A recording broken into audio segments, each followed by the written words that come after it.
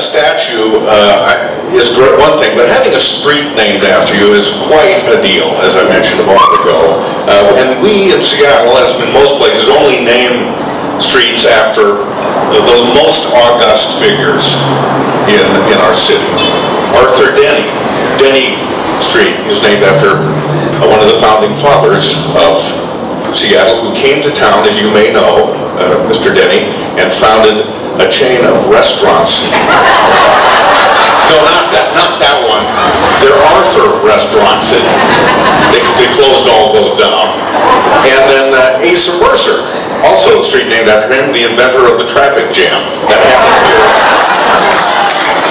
So, the specialness of having a street named for JP is very cool. It's gonna be a cool street. Some, some of the streets in this town can get a little tough. This one, the worst that'll ever happen is if a pie fight breaks out, I think.